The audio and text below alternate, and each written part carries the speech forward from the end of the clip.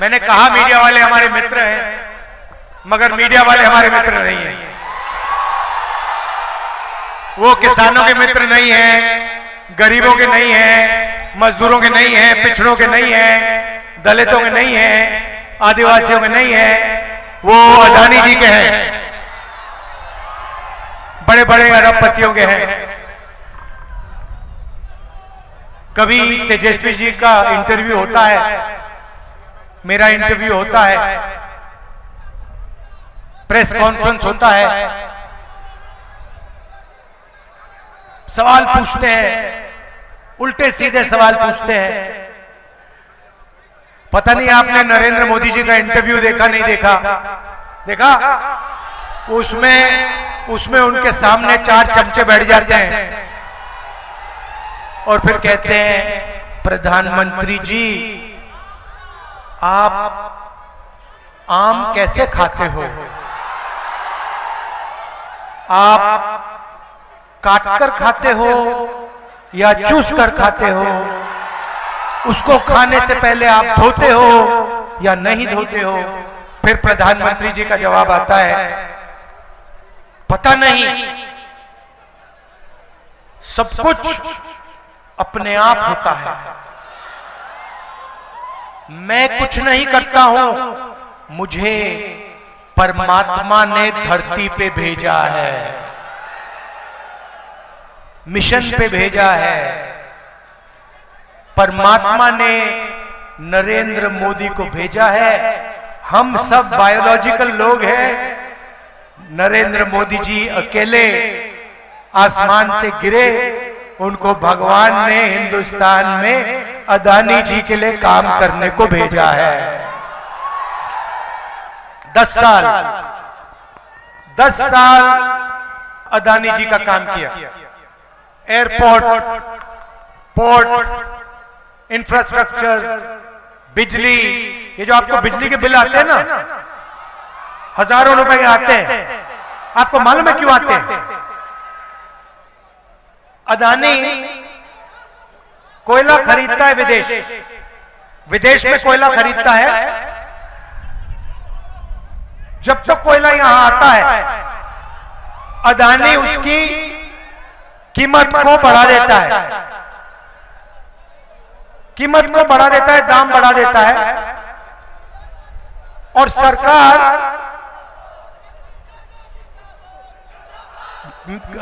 कोयले को महँगे दाम पे उसकी मदद करने के लिए खरीदती है। पैसा कौन देता है? आप देते हो। भाइयों बहनों जीएसटी कौन देता है? आप देते हो। आप कौन हो? नब्बे परसेंट हिंदुस्तान के। पिछड़े दलित आदिवासी माइनॉरिटी गरीब जनरल कास्ट के लोग। आप जीएसटी देते हो। पैसा आपका है। कर्जा माफ़ अदानी जैसे बाईस लोगों का होता है। आपको शायद मालूम ही नहीं कि जब नरेंद्र मोदी जी ने 16 लाख करोड़ रुपया 22 लोगों का माफ़ किया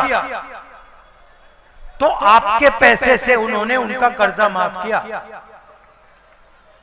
वो अदानी का पैसा नहीं है। वो हिंदुस्तान के पिछड़े वर्ग का दलितों का आदिवासियों का किसानों का मजदूरों का पैसा आप देते हो। आपने ये शर्ट पहनी हुई है। ये आपने कितने की खरीदी? हाँ आप कितने की खरीदी है? पाँच सौ की खरीदी। भाइयों और बहनों गरीब व्यक्ति पाँच सौ रुपए की शर्ट खरीदता है। वो उतनी ही जीएसटी देता है। जितनी अदानी देता है। अगर यही शर्ट अदानी खरीदेगा तो वो भी उतनी ही जीएसटी देगा। 18 परसेंट जीएसटी देगा जितनी इसने दी। वो अरबपति है। उसको लाखों करोड़ रुपए मिलते हैं। इनकी आमदनी हज़ारों रुपए में और आप देखें तो सारा का सारा पैसा आपकी जेब में से निकलता है। महँगाई की बात करते हो। तेजस्वी जी बेरोजगारी की बात कर रहे हैं ये है क्या? ये हो क्यों रहा है? क्योंकि नरेंद्र मोदी जी ने इन 22 लोगों को चाइना के प्रोडक्ट्स का ठेका दे रखा है। ये आप अपना मोबाइल फ़ोन देखो। इसमें मेड इन चाइना लिखा है। इसको बेचता कौन है? अदानी अंबानी। अंबानी। इस मोबाइल फ़ोन को हिंदुस्तान में बेचता है। चाइनीज़ माल वो यहाँ बेचता है। हिंदुस्तान के युवाओं को नुकसान होता है। चाइना का माल यहाँ बेचते हैं। चाइना के युवा को फ़ायदा होता है। अदानी अंबानी को फ़ायदा होता है। अच्छा नरेंद्र मोदी को क्या फ़ायदा मिलता है इसमें से? मैं बताता हूँ। 24 घंटा मीडिया वाले उसका चेहरा दिखाते हैं। तो होता क्या है? नरेंद्र मोदी आपका पैसा जीएसटी का पैसा इन 22 लोगों को देते हैं। इनको चाइना की कंपनियों के ठेके दे रखे। हैं आप चाइना का माल खरीदते हो। महँगाई बढ़ती जाती है। और नरेंद्र मोदी का चेहरा ये मीडिया वाले 24 घंटा आपको दिखाते हैं। और नरेंद्र मोदी आपका ध्यान इधर उधर करते हैं। अच्छा। मैं आपसे पूछना चाहता हूँ। जब कोई किसी का जेब काटता है कैसे किया जाता है? जेब कैसे काटी जाती है?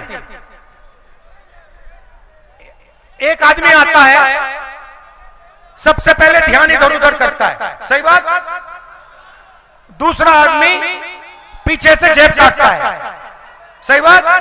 और तीसरा आदमी डंडा लिया खड़ा रहता है कि कुछ हो तो मैं मारू। सही बात? ध्यान इधर उधर करने वाला नरेंद्र मोदी। जेब काटने वाला अदानी। डंडा वाला अमित शाह। और जेब किसकी कट रही है आपकी? और आपको कहते हैं कभी कहेंगे देखो आसमान की ओर देखो नरेंद्र मोदी सी प्लेन पे उड़ रहा है।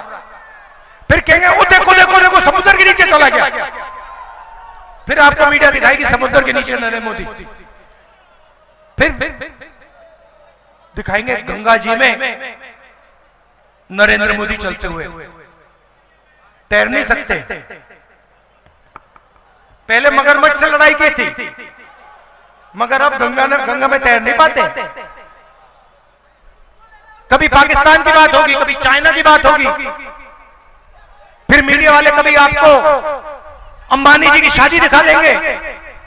उसमें आठ करोड़ की घड़ी दिख जाएगी। मगर कभी आपने गरीब व्यक्ति को मीडिया में देखा है? किसान को देखा कभी? मजदूर को कभी देखा मीडिया पे? सवाल नहीं उठता। ये आपका है ही नहीं। बिल्कुल बिका हुआ है। ये उनका है ये। अब इंडिया गठबंधन के सामने दो बड़ी समस्याएँ हैं। एक पहली समस्या है कि नरेंद्र मोदी जी ने अमीरों को अमीर कर दिया है 22-25 लोगों को, और गरीबों को गरीब कर दिया गरीब गरीब होते जा रहे हैं, अमीर अमीर होते जा रहे हैं। और भैया, अगर एक करोड़ अमीर होते या दस करोड़ अमीर होते तो बात चल जाती। मगर हिंदुस्तान में सिर्फ़ पच्चीस तीस लोग हैं, जो अरबपति हैं।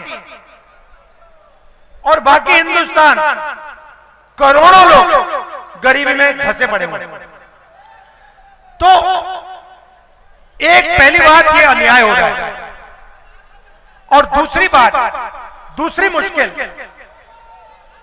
बेरोजगारी। एक ही अमीर और गरीब अमीर गरीब, अमीर अमीर होता जा रहा है, गरीब गरीब होता जा रहा है, दूसरी बेरोजगारी। अब कांग्रेस पार्टी इन दोनों समस्याओं को एक झटके से ठीक करने जाएगी आप कहोगे होता कैसे, होगा कैसे? आप कहोगे कैसे हो सकता है कि आप एक एक काम करके इन दोनों समस्याओं को ठीक कर दो? ये मैं आज आपको बताने आया हूँ। सबसे पहला हमारा काम। उन्होंने अरबपति बनाए हम करोड़ों लाखपति बनाने जा रहे हैं। और कैसे करेंगे बता रहा हूँ। यहाँ पे हर डिस्ट्रिक्ट में हर गाँव में हर शहर में हिंदुस्तान के गरीब लोगों की लिस्ट बनेगी। किसानों के परिवार होंगे मजदूरों के परिवार होंगे पिछड़े वर्ग, दलित, आदिवासी, गरीब जनरल कास्ट माइनॉरिटी जो भी इस देश में गरीब है, छोटा व्यापारी, गरीबी रेखा से अगर वो नीचे है, उसका नाम इस लिस्ट में आएगा करोड़ों लोगों की लिस्ट बनेगी। उसके बाद हर गरीब परिवार में से एक महिला का नाम चुना जाएगा। करोड़ों महिलाओं के नाम चुने जाएँगे। चार जून को इंडिया गठबंधन की सरकार बनेगी। पाँच जुलाई को करोड़ों परिवार सुबह उठेंगे। अपना बैंक अकाउंट चेक करेंगे। और बैंक अकाउंट में पाँच जुलाई को आठ हज़ार पाँच सौ रुपए अंदर। आप देखोगे कहोगे ये क्या हुआ? कहाँ से आया? इंडिया गठबंधन की सरकार ने उसको अंदर डाला। जुलाई में मिलेगा। अगस्त, सितंबर, अक्टूबर, नवंबर, दिसंबर, जनवरी, फरवरी, चलता जाएगा। फटाफट फटाखट फटाखट फटाखट अंदर। मैं तो कहता हूँ, ये मीडिया वाले कहेंगे। ये मीडिया वाले कहेंगे, जब हम पैसा देंगे, ये मीडिया वाले कहेंगे, देखो देखो, ये गरीबों की आदत बिगाड़ रहे हैं। और मैं कहूँगा, ज़्यादा बोलोगे ना अभी एक लाख रुपए साल का दे रहे हैं। दो लाख कर देंगे। चुप हो जाओ। तो अभी बोल रहा हूँ। तो पहला काम सीधा महिलाओं के गरीब महिलाओं के बैंक अकाउंट में पैसे का इंजेक्शन दूसरा काम यहाँ पे आपने वो वो थोड़ी देर बाद में आएगा। दूसरा काम यहाँ पे आप लोग धान उगाते हो। धान उगाते हो? यहाँ पे आपको धान के लिए हिंदुस्तान के किसानों को धान के लिए शुगर केन के लिए आलू के लिए सही दाम नहीं मिलता। जब आपको धान बेचना होता है अदानी जैसे लोग मार्केट को फिक्स करके दाम को कम कर देते हैं। और जब आप अपना धान बेच देते हो उसको बढ़ा देते हैं। तो पहली बार हिंदुस्तान की सरकार हिंदुस्तान के किसानों को बिहार के किसानों को कानूनी मिनिमम सपोर्ट प्राइस कम से कम दाम धान के लिए अनाज के लिए शुगर केन के लिए देने जा रही है। दूसरा काम दूसरा काम उन्होंने 16 लाख करोड़ रुपए कर्जा माफ़ किया। हम हिंदुस्तान और बिहार के किसान का कर्जा माफ़ करने जा रहे हैं। तो महिलाओं के जेब में पैसा किसानों को पैसा मजदूरों को आज 250 रुपए मिलते हैं मनरेगा में। हम 400 करने जा रहे हैं। आशा आंगनबाड़ी महिलाओं की जो आमदनी है उसको हम दुगना करने जा रहे हैं। अभी यहाँ युवा देख रहे हैं कह रहे हैं भैया ये क्या हो रहा है? किसान को पैसा मिल रहा है। महिलाओं को मिल रहा है। मजदूरों का आपने दे दिया। हमारा क्या होगा?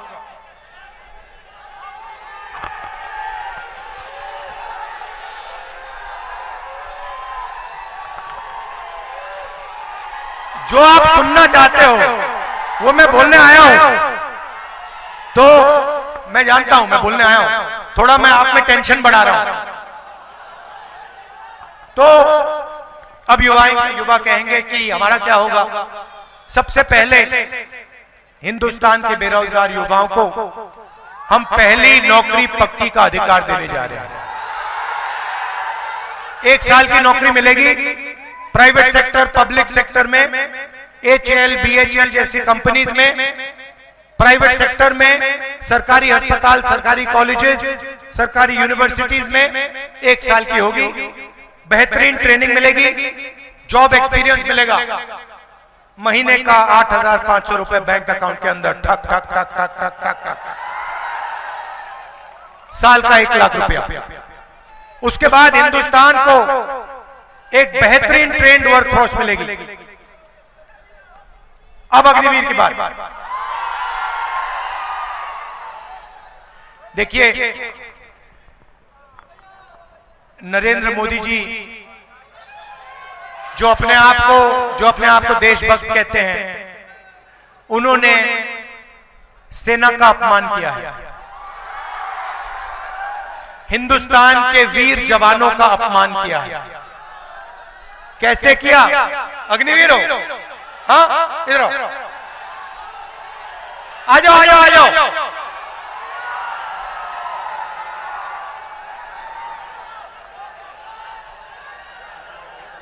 अलंकार में चेक करो अग्निवीर है अग्निवीर है अग्निवीर बोलो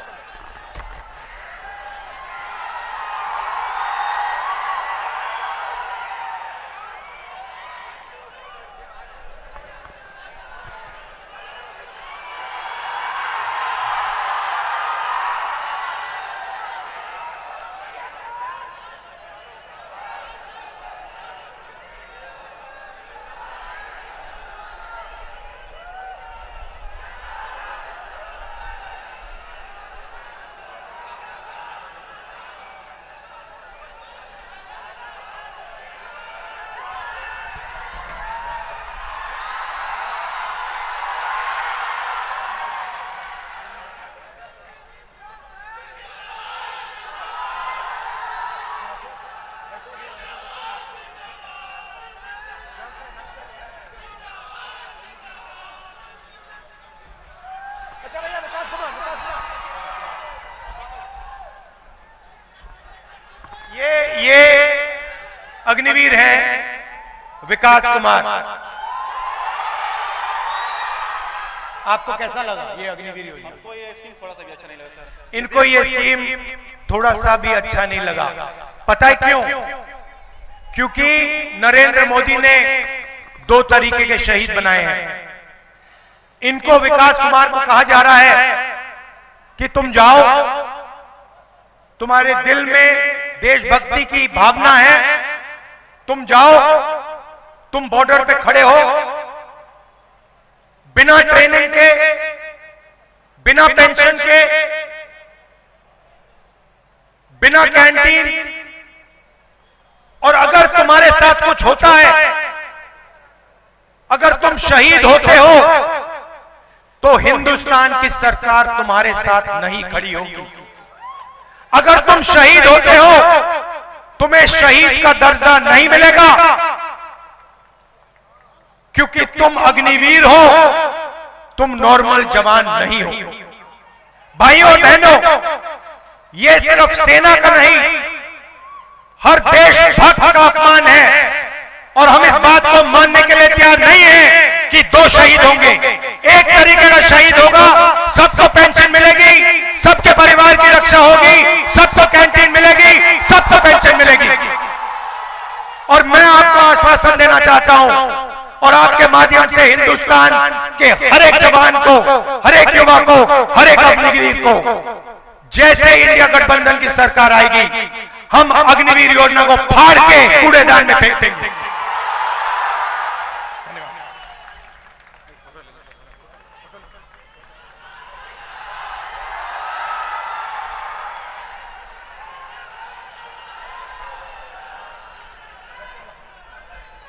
हम अग्निवीर योजना को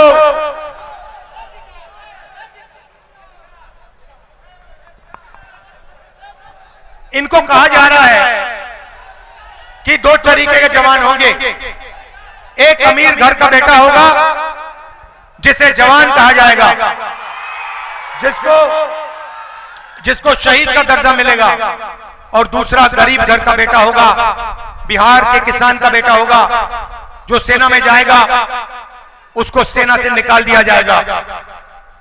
उसको ना पेंशन मिलेगी, ना शहीद का दर्जा मिलेगा, ना कैंटीन मिलेगी। अगर उसके साथ कुछ होता है, सरकार उसकी रक्षा नहीं करेगी। हम इस बात को नहीं मानेंगे, अग्निवीर योजना को फाड़ के कूड़ेदान में डालेंगे।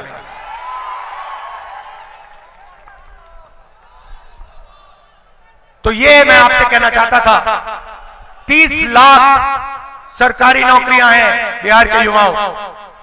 नरेंद्र मोदी जी ने इनको भरा नहीं है।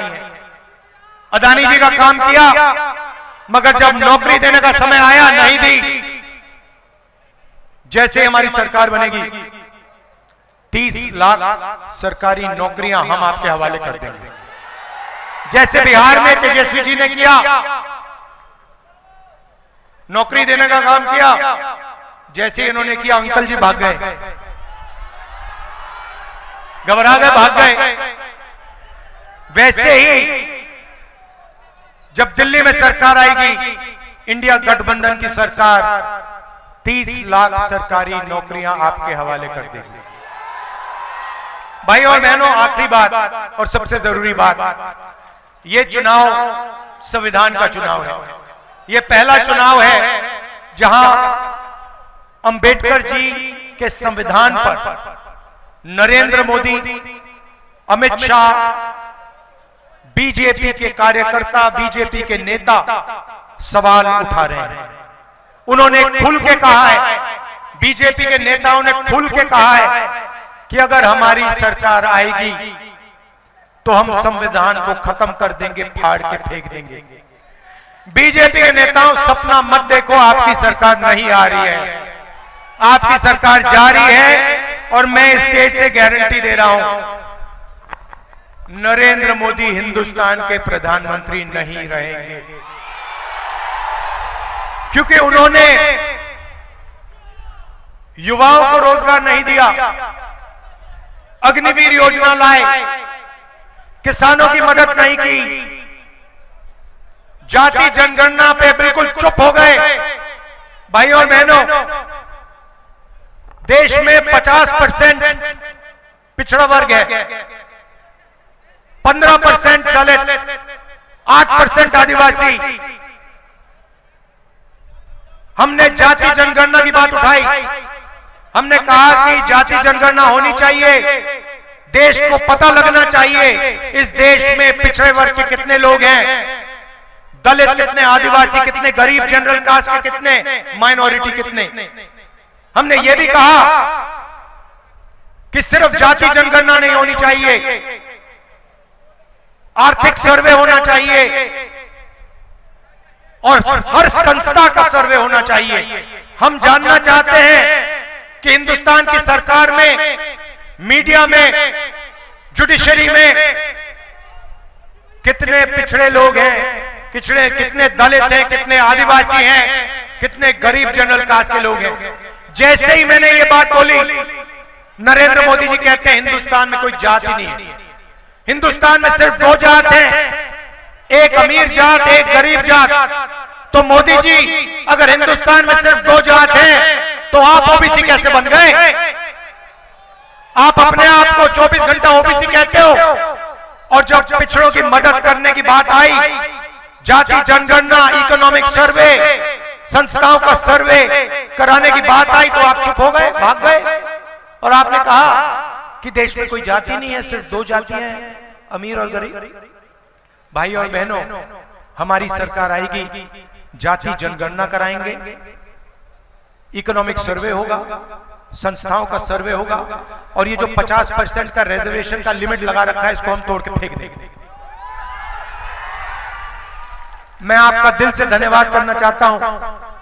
आप सब दूर दूर से आए। इतने प्यार से आपने हमारी बात सुनी। दिल से धन्यवाद करता हूँ। और भूलिए मत, अग्निवीर को हम फाड़ के कूड़ेदान में फेंकने जा रहे हैं। धन्यवाद, जय हिंद।